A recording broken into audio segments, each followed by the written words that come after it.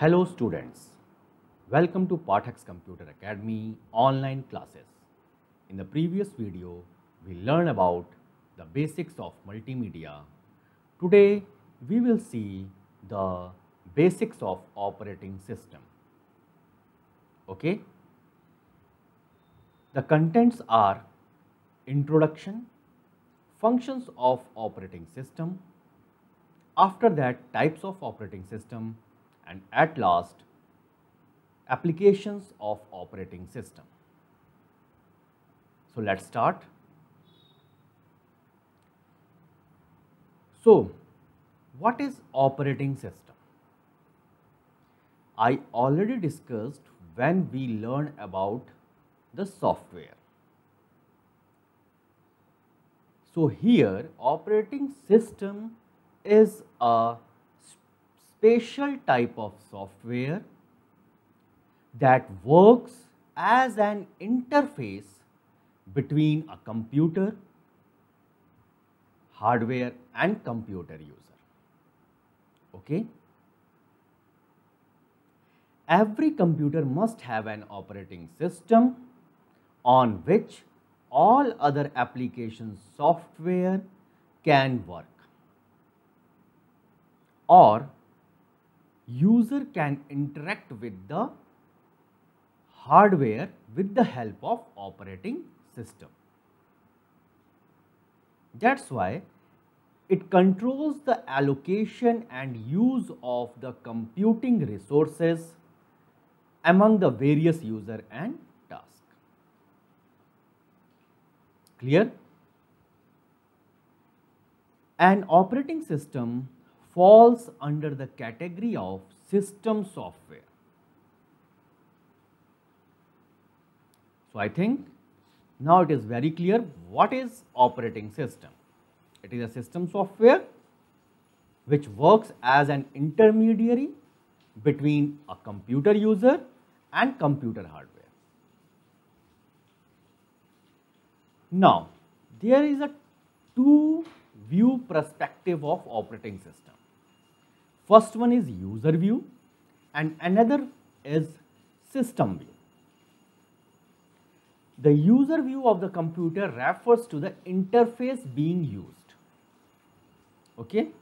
I am capturing my video with the help of MS Office and some capturing software but these two application software are working under the platform of operating system. This is the user view. And another view is a resource allocator or you can say that system view. A computer system consists of many resources like hardware and software. And these hardware and software are managed efficiently by the operating system. Now, the functions of operating system. The main task done by the operating system are processor management. Here processor means CPU. Okay? Which work is to be given to the processor? When new job is to be allocated and all other things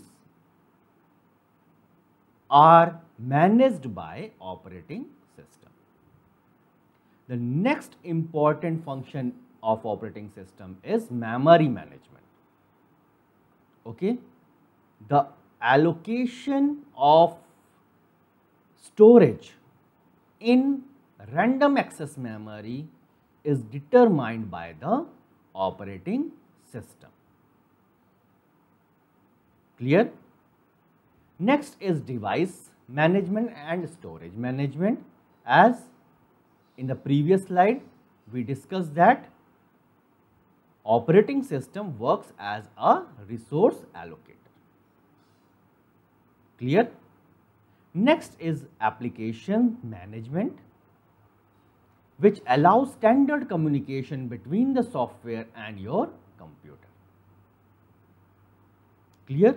These are the basic functionality of operating system to manage the various resources available to the computer and the user perspective of work. Now, the applications of operating system, where operating system used. First of all, it boots the computer. Next is managing the various peripheral devices. It provides the user interface, either CUI or GUI. Again, it handles system resources.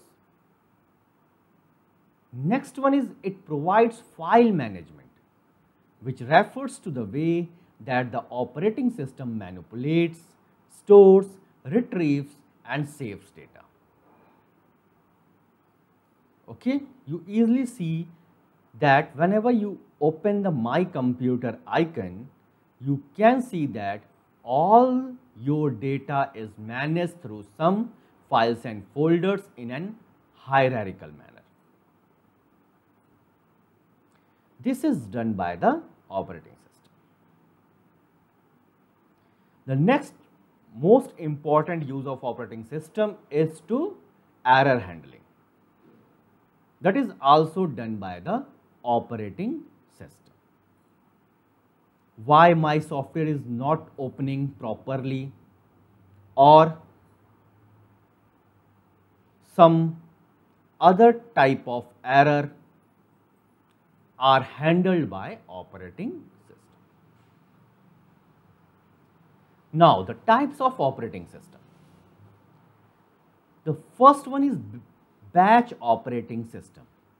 As the name suggests, sequence of jobs that are similar are compiled in one batch and another type of jobs are combined in another batch and after that it runs sequentially.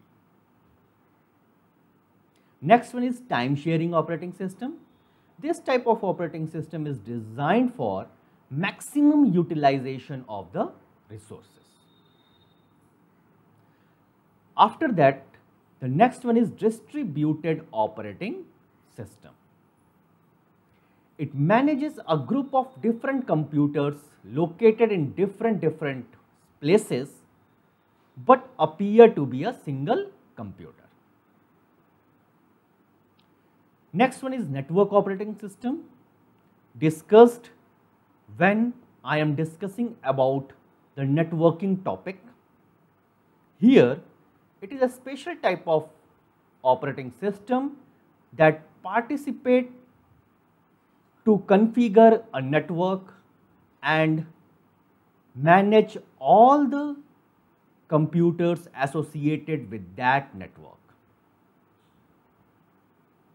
Next one is real-time operating system this is specifically designed to work out within the deadline.